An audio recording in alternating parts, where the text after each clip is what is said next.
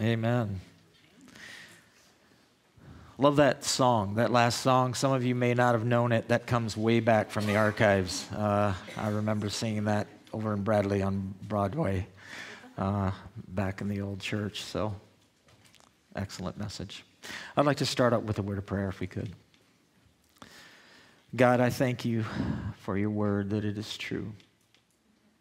God, I thank you for your spirit that takes things from your word, God, and applies it to our hearts and lives and makes it personal and usable that we can use daily. Lord, I pray that you would speak today.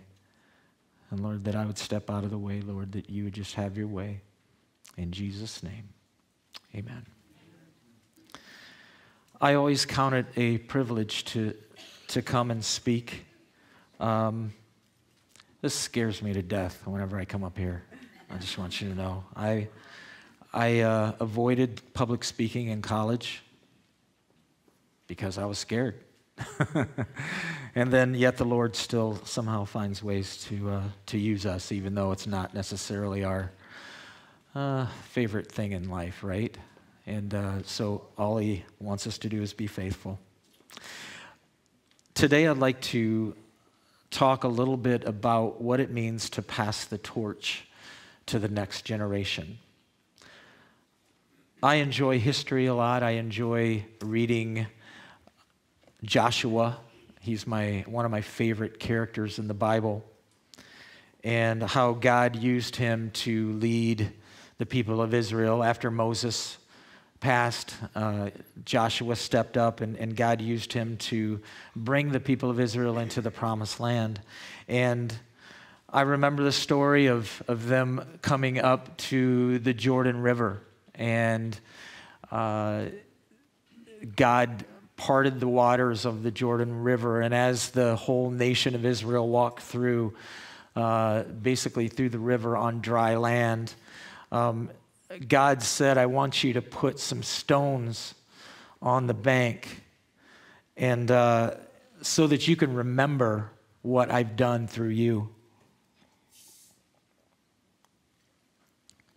And, and so God used those stones as a memorial so that they could look back and remember, uh, remember Egypt. Remember how God brought them through uh, all of the famine, uh, all of the, the plagues, excuse me, and, and all of the things that were going on in, in Egypt, and, and how God found, uh, was, was faithful in whatever situation that they were in. And then Jericho, how they marched around the city uh, six straight days. And then the seventh day, they marched around seven times. And that the, the walls of Jericho fell in. And, and they went in and overtook the city. Just God's power, just shown in, in amazing might. And then I'd like to pick up uh, actually, and then shortly after that, it seemed like Joshua was still getting some pushback from the people of Israel. It's amazing how the devil will continue to try to pull and try to deceive and try to um, just draw us away from God. And, and even with a strong leader as Joshua was, I mean, Joshua even had to come to the point, he says, I don't know what the rest of you guys are doing, but as for me and my house, we are going to serve the Lord. He says, I'm going to stand. That's just the way it's going to be. And then all of a sudden, all the, you know, the rest of them followed. And, and it was just amazing how God used Joshua. And I'm going to pick up with Judges chapter 2, verse 6. And there's several verses here, but it's, it's very important what's said here. It says, After Joshua had dismissed the Israelites, they went to take possession of the land, each to their own inheritance. The people served the Lord throughout the lifetime of Joshua and of the elders who outlived him and who had seen all the great things that the Lord had done for Israel. Joshua, son of Nun, the servant of the Lord, died at the age of a 110. And they buried him in the land of his inheritance at Timnath in the hill country of Ephraim, north of Mount Gaash. After that, the whole generation that had been gathered had been gathered to their ancestors. It means they passed away. Another generation grew up who knew neither the Lord nor what he had done for Israel. Now, I'm not sure what the problem was there. It doesn't really talk about it, but it, it's almost like there is total amnesia in the lives of these kids that are growing up through this. It's like they're not really seeing what's going on. I mean, they're seeing it, but it's not really taking heart. They're, they're experiencing the power of God, but it's not really resonating within them. It says, Then the Israelites did evil in the eyes of the Lord and served the Baals. They forsook the Lord, the God of their ancestors, who had brought them out of Egypt. They followed and worshiped various gods of the peoples around them. They aroused the Lord's anger because they forsook him and served Baal and the Ashtoreths. In his anger against Israel, the Lord gave them into the hands of raiders who, were, who plundered them. He sold them into the hands of their enemies all around, whom they were no longer able to resist. Notice that when you decide to go your own way, that God's hand of protection and blessing leaves. All of a sudden, you are a direct target for the enemy and his destruction. And that's what happened here. He sold them into the hands of all their enemies all around. They were no longer able to resist. Whoever, excuse me, whenever Israel went out to fight, the hand of the Lord was against them to defeat them, just as he has sworn to them. They were in great distress. You know, God understands that sometimes the only way that we can come back to Him is He has to get our attention. And that involves a lot of pain. And I know that it hurts God when it causes us pain, but if it will draw us unto Him, then it's a good thing. Verse 16 says Then the Lord raised up judges who saved them out of the hands of these raiders. Yet they would not listen to their judges, but prostituted themselves to other gods and worshiped them. They quickly turned from the ways of their ancestors who had been obedient to the Lord's commands. Whenever the Lord raised up a judge for them, he was with the judge and saved them out of the hands of their enemies as long as the judge lived. For the Lord relented because of their groaning under those who oppressed and afflicted them. Notice that God still always has compassion and mercy. What an amazing God that we serve. But when the judge died, the people returned to ways even more corrupt than those of their ancestors, following other gods and serving and worshiping them. They refused to give up their evil practices and stubborn ways. Therefore, the Lord was very angry with Israel and said, Because this nation has violated the covenant I ordained for their ancestors and has not listened to me, I will no longer drive out before them any of the nations that Joshua left when he died. I will use them to test Israel and see whether they will keep the way of the Lord and walk in it as their ancestors did. The Lord had allowed these nations to remain he did not drive them out at once by giving them into the hands of Joshua.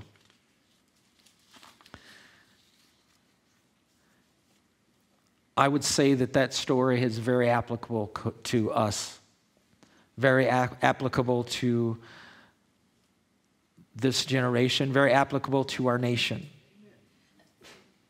The American dream has always been that if only we can make things easier for our kids where they can have a foot up or an, or an advantage. It, the ideal that every U.S. citizen should have an equal opportunity to achieve success and prosperity through hard work, determination, and initiative. That was the American dream. If you can only work hard, you can get there, right? That's the message.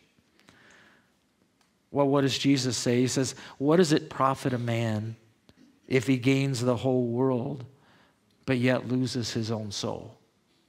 What does it profit? So today I want to talk about not passing on the American dream to your kids, but passing on the, the torch, the, the heritage of Christ living in you to your kids. The Declaration of Independence talked about life, liberty, and the pursuit of happiness. We have three problems that are, that's going on. It's three things that are stopping us from passing on this heritage, this Christian heritage to our kids. relevancy. What does that mean? What is the life that God saved you from? Some of us could stand up here right now and give a testimony and say how the life that they used to live before Christ was horrible and that you lived in lots and lots of pain and how God rescued you and changed you and turned you around. And now you feel God's blessing on you and you and you know that someday you will be in heaven with him. What an amazing testimony. I don't really have that testimony. I grew up in a Christian family. I was blessed with that. I didn't understand what it meant to, to uh, feel the pain of sin and making wrong choices and, and broken relationships. And I'm thankful for that. But, you know, my relationship with God is may I may not have that sense of commitment to Christ because I don't really know, I, I, I haven't personally experienced the, the garbage that he saved me from, if that makes sense to you.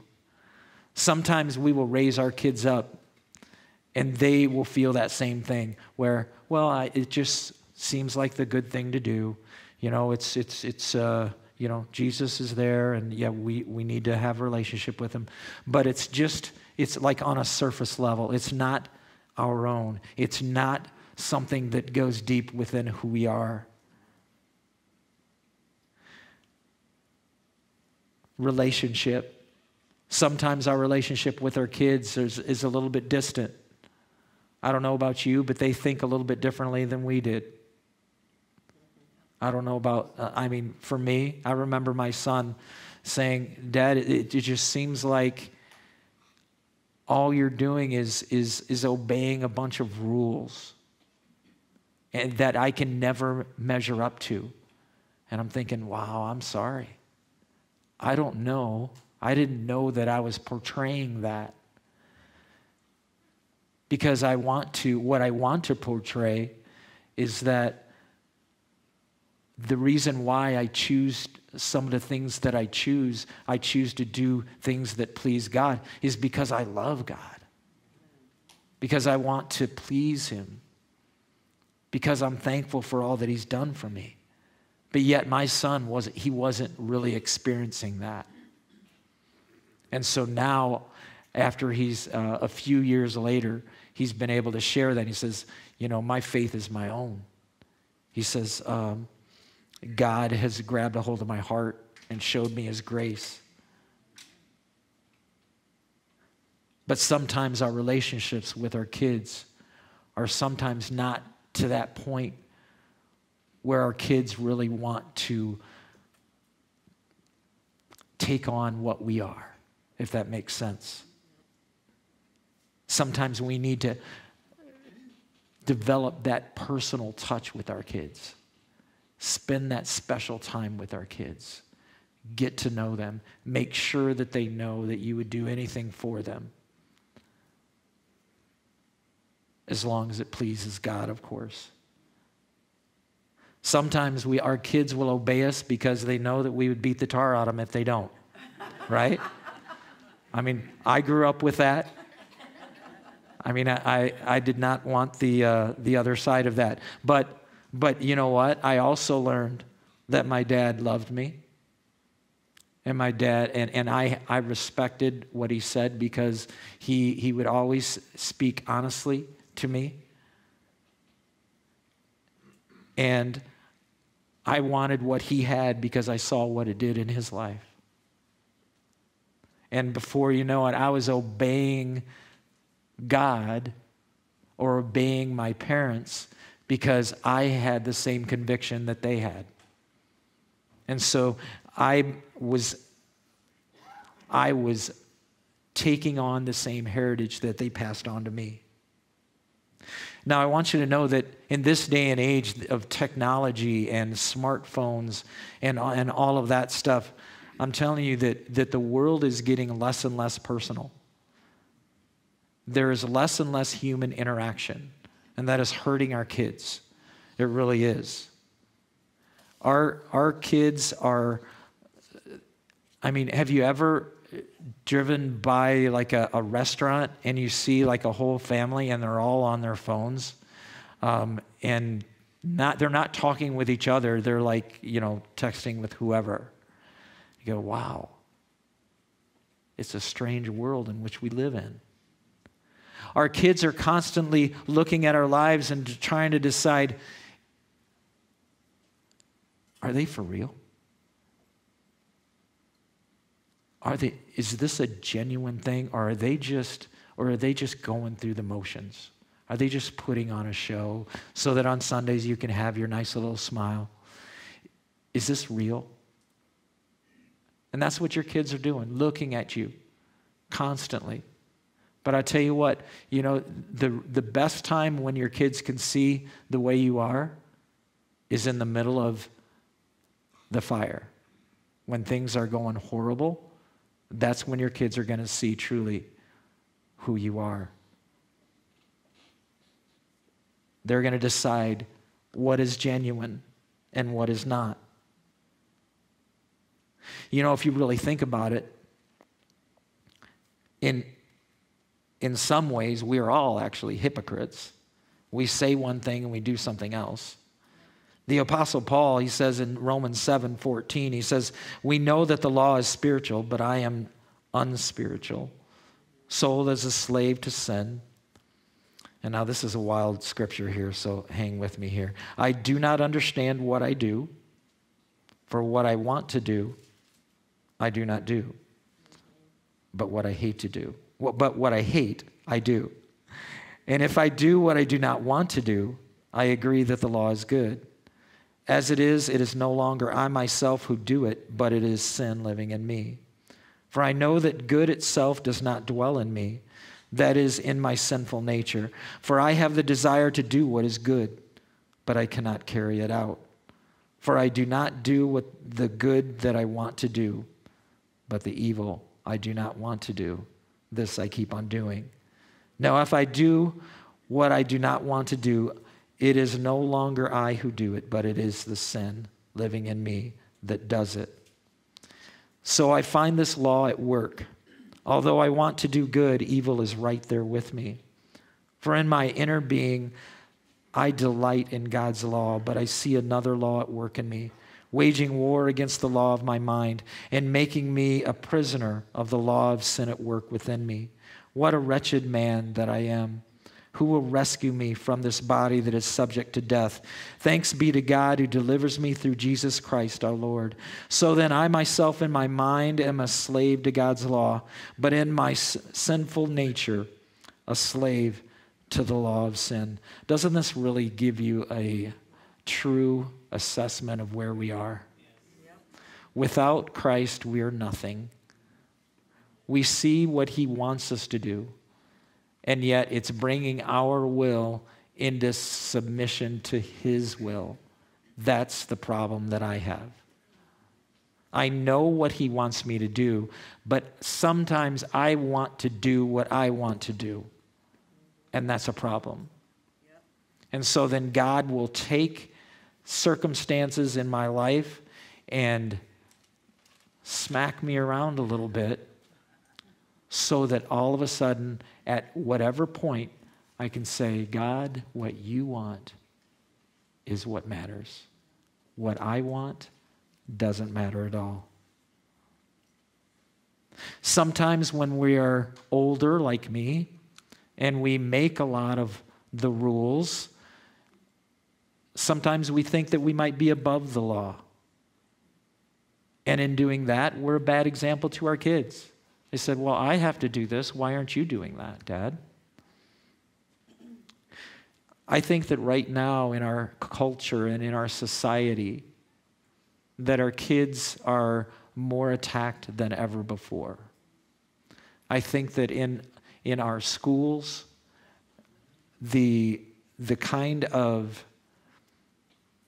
garbage that's coming and attacking our families, it's, it's, it's disgusting to me. When I think of vulnerable children being attacked with out and out lies from the devil, as to who they are and how God created them, it makes me puke.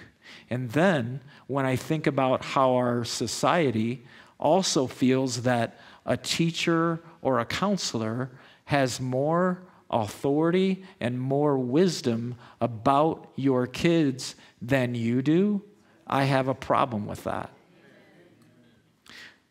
So our kids are under attack.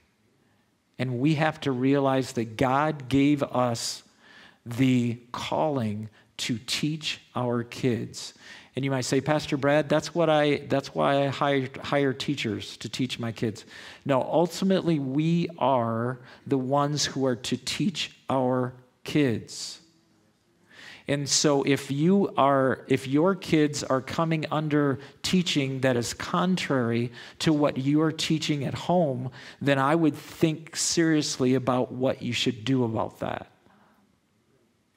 because there's a lot of teaching out there that is contrary to the Word of God. There are not more than 60 some genders out there. There aren't. There are two.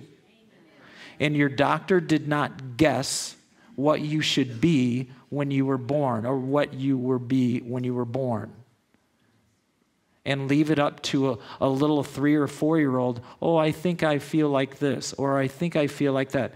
No, Johnny, you're a boy.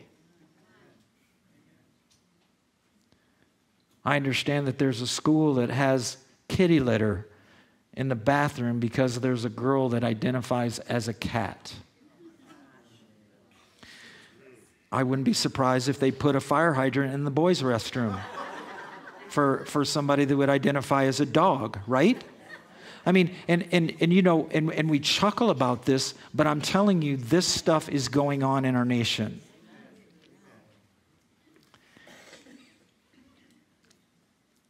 And I want to be careful about what I say, okay? But we have to, as, as believers, we have to take the responsibility that God has given us to teach our children and not only that, to teach each other. Our older believers have to be taking younger believers under our wing and teaching them about what is true. Our young people are forming their, their whole structure of who they are and where they fit into God's creation is being formed at a young age. And if they hear lies and confusion, there's only one author of confusion, and that is the devil. And that's why God needs us to step up and to take the rightful spot that we have in affecting a generation for Him. In Deuteronomy, actually, no, you know what? I'm going to, before I do that, we're going to show a little video and this is a home, home video that my mom took back in the 60s. Okay, so there's no sound. Super 8. A couple of you guys might remember that format. Um, but basically, this is a picture of my father, and my dad was my hero. And his name was Art, and he was a well driller, but he's teaching me how to ride my bike. All right? Now, you also will see another little man flying by with a wheelbarrow uh, and also on a tricycle a little bit later. That's my brother Brent, okay? And then you'll see another little guy that is my brother Rick, and he's just little, just enjoying the show, okay? So we're to go ahead and put this on. Like I said, there's no sound, but there's my dad. I was scared to death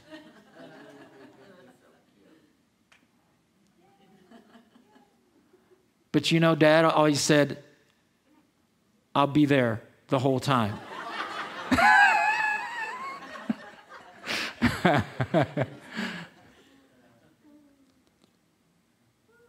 he said, I'll be there. I said, What if I fall down? I'll be there. And that was and that was a thank you. And that was a a real picture of who my dad was. He was the guy that before I'd go to bed, he would, he would slip in and, and spend some time with me. And he'd talk with me and he'd pray with me. Um, he was, he was, would constantly show his love for me. And, and just that picture, whatever it was, whether it was hard times or not, he was there. And he was there to support me. Um, in Deuteronomy chapter, or there's several different verses that I'd like to read, and it talks about how God has called each one of us to teach.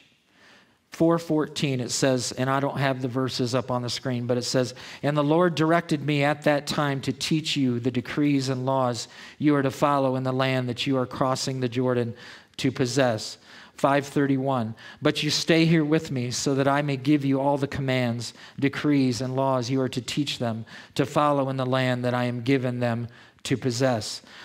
6 1 these are the commands decrees and laws the lord your god directed me to teach you to observe in the land that you are crossing the jordan to possess.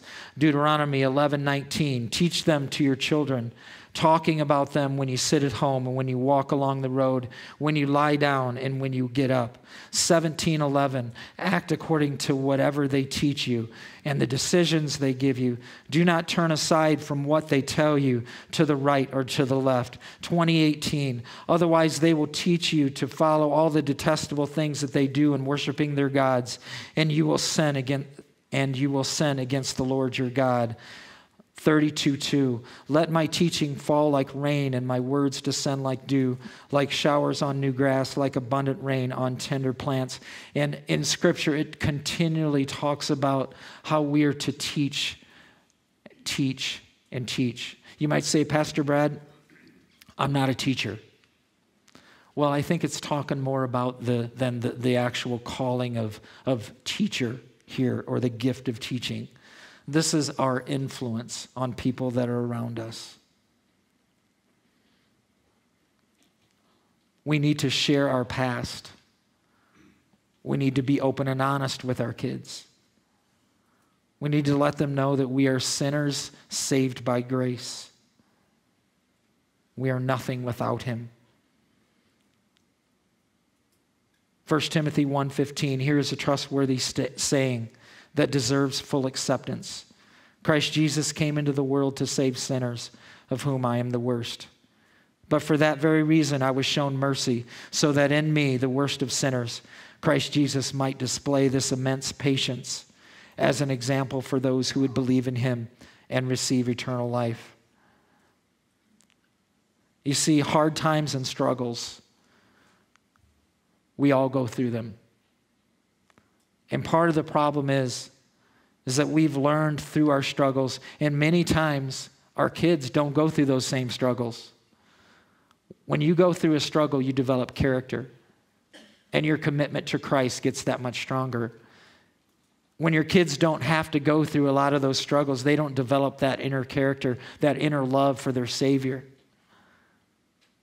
And thereby having the opportunity to draw closer to God.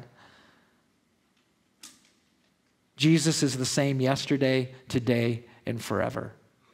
We need to show our kids that. We need to give credit where it is due. Good things only come from God. There's nothing that we are without Him. Everything that is good comes from God. Proverbs 16, 18 says, Pride goes before destruction, a haughty spirit before a fall. If you ever think that you have it all figured out and that you're just waiting for, and you're just waiting for that day when Jesus calls you home and everything's all cool and easy, um, get ready to fall because pride goes before a fall. Have you ever thought that you're better than someone else? That's pride. That's of the enemy that can destroy relationship? Has the blessing of God ever went to your head? We go, wow, God is really blessing me here. Whoa, God is really blessing me there. Wow, I'm pretty cool. Um, that's pride. Don't let that happen. We are not entitled. God does not owe us anything. Keep the most Keep most important what is most important, and that is God's business. I remember my dad just speaking into our lives and saying, all the other things that you can do in life are basically worthless. But if whatever you do for Christ, that's the only thing that matters. That's the only thing that you will be able to uh, have reward in heaven for, is what you do for Him. Money is a tool. 1 Timothy 6:10 says for the love of money is a root of all kinds of evil. Some people eager for money have wandered from the faith and pierced themselves with many griefs. Mark 8:36 says what good is it and we referred to this earlier what good is it for someone to gain the whole world yet to forfeit their soul It's important that we meet with God's people. I'm so thankful that we can get together weekly and see each other, encourage one another. Hebrews 10:25 says do not give up meeting together as some are in the habit of doing, but encourage one another all the more as you see the day approaching. We need each other more and more. As, as things get ratcheted up here towards the end of the, the age, towards the day that Jesus comes, we need each other and to encourage one another and to even teach one another what God has shown us. Read God's love letter. That's the Bible. Talk to him. That's prayer. You say, Pastor Brad, all of the things that you're saying here sounds like a really good idea, but my kid does not respect me. In fact, my kid thinks that I'm old and weird. That could be true. That could be true. But I want you to know, I want you to know that God still wants to use you. If your kids see a genuine heart that loves them, that cares for them, and you want the very best for them, they're going to really hear you. Maybe not immediately. Maybe they have to go through some hard things before they will. But I want you to know just as the, the man came back to, or the prodigal son came back to his father, be ready to receive your child that right now they're not hearing you, but that one day God's going to bring them to the point where they're, they're at, the, at, at the end of their rope and they're going to need a loving father or a loving mother to restore them back to relationship. And then at that point, they're going to hear what you have to say. Love unconditionally, but discipline consistently. I want to talk to our younger generation now here as I close. I know a lot of you guys. We are blessed with a lot of great kids here in this church. I want you to know that. And I'm very thankful for you. And I want you to know that the older the older generation we're not perfect. I want you to know that all of us are saved by grace and have our faults, and we need Jesus every day. But I also want you to know that God has a plan for you. And it's not even necessarily to influence a church in the future, but actually, what God wants to do is to even use you now in your youth. 1 Timothy 4:12 says, "Do not let anyone look down on you because you are young, but set an example for believers in speech, in conduct, in love, in faith, and in purity." Young people, hang in there with your parents. They're not going to get it right all the time. But the principles that they're trying to abide by, those will remain true. God's word is true, and it will continue to be true for you. You might not you might see some inconsistencies in your, the lives of your parents, but that doesn't change the truth that God has. Follow that with all that you are, and God will bless you. Okay? You are not the church of tomorrow, but yet you're the church of today. Let's pray. God, I thank you so much for your word. I thank you for the calling that you've placed on each one of us, Father, to influence a younger generation, but Lord, even to influence each other for you. Lord, I pray that your spirit would just well up within us. Father God, that we would be the vessels that you have called us to be. And Lord, that you would just anoint us to make a huge, amazing difference on the people around us. Father, so that all that is said and all that is done would point them to you. And we thank you for this day. Bless each one that's here. I pray that you would anoint your words and use it in Jesus' name. Amen. We have elders that are going to be here for prayer. God bless you. Have a great day.